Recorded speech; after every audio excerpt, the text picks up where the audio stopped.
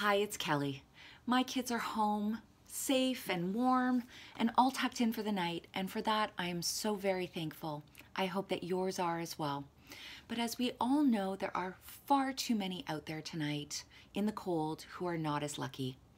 The Refuge in Oshawa is a drop in center for homeless and street youth that provides love and kindness, basic needs, and access to life changing programs to youth who have experienced tremendous challenges and tragic circumstances.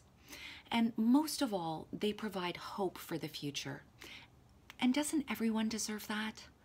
On February 24th, I will be walking 5K in the coldest night of the year event to raise money to support this much needed resource here in our community.